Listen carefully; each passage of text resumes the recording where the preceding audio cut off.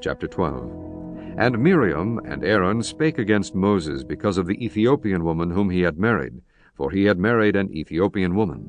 And they said, Hath the Lord indeed spoken only by Moses? Hath he not spoken also by us? And the Lord heard it. Now the man Moses was very meek, above all the men which were upon the face of the earth. And the Lord spake suddenly unto Moses, and unto Aaron, and unto Miriam, Come out ye three unto the tabernacle of the congregation.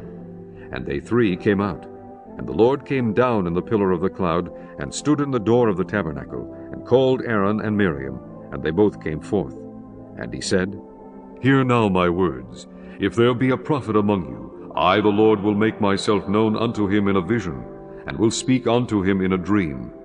My servant Moses is not so, who is faithful in all mine house. With him will I speak mouth to mouth, even apparently, and not in dark speeches. And the similitude of the Lord shall he behold. Wherefore then were ye not afraid to speak against my servant Moses?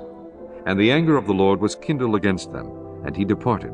And the cloud departed from off the tabernacle, and behold, Miriam became leprous, white as snow.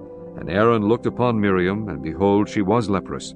And Aaron said unto Moses, Alas, my lord, I beseech thee, Lay not the sin upon us, wherein we have done foolishly, and wherein we have sinned.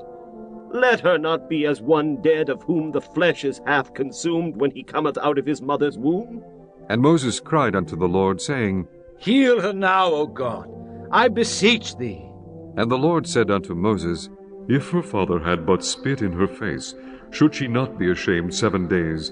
Let her be shut out from the camp seven days, and after that let her be received in again. And Miriam was shut out from the camp seven days, and the people journeyed not till Miriam was brought in again.